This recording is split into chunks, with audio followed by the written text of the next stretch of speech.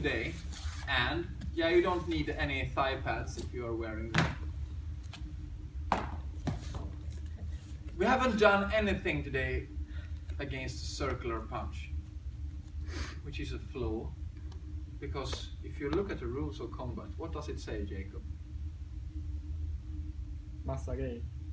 A lot of, of stuff, that's true. But one thing particular is that you should train for the most common or likely attack first.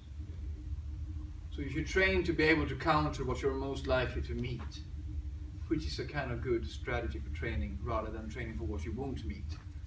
Okay. You remember this, what we call the principal drill? This punch coming in and we went boom, boom, right? But we never really applied the first one, the arm break on the inside. Remember? That we will do now. So let's say he's giving me that, that big swing. Yeah, that one. Boom! He's coming to take my head off. Right? So he gave it again. Boom, he stopped that. The, the normal way we, we do, which we call the, the frisbee kick. It's like throwing a frisbee. But what do we know about fists? When, I, when he punches me, boom, what will happen? Yeah, that will come right away. As soon as this one is here, that one will be on its way. So we need to have a strategy for that. Because everything looking like this, not gonna work. On the other side too, I will do it wrong. This is not gonna work. What will happen, do you think? Yeah, he will take my head off that way instead. So, he will punch me, and I go BAM! That changed it all. It's a game changer, so to speak. So he punches me again, boom! We go here. Now we have this arm break for an application. So we will do, we will use the same method. We will begin to do this as a flow drill, where we train the very entry. So he's punching me. Boom, bam. He punched me again. Boom, bam. He punched me again. Boom, bam. Punch me again. Boom, bam, bam. You can add a strike with the head. Boom, bam, bam. Add whatever you like. But do this. Stop, punch, break.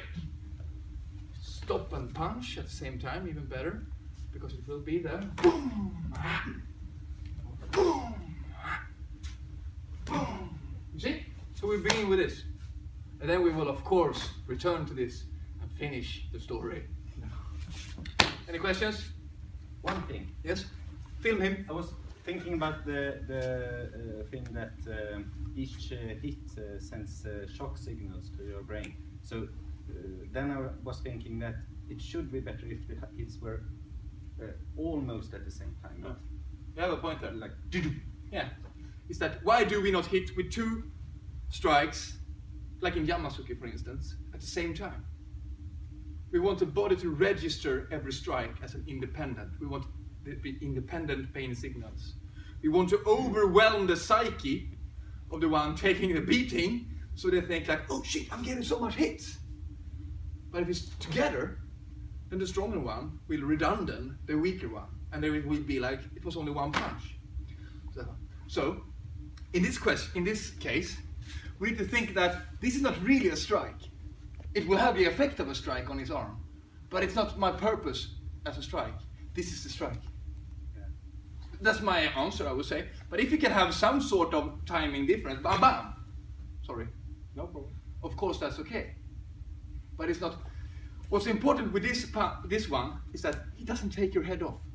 That's the purpose. If it hurts his arm, that's a plus. Oh, you're, laughing. But the point is, he's not supposed to take my head off. If he will take my head off, there will be nothing more to do today. Right? So he punch, and I stop it. Bam! You can aim for that timing. I won't say it's wrong, but I say it's less important. The purpose of this is to stop him from taking my head off. And this is to take his attention. So he starts to think about something else, like, boom, where did my air go? what happened to my breath? Losing tappa andan, vad fan. Okay, so, so, boom, and then bam, injuring the elbow joint. Right? Good question, otherwise. Thank you. Let's go.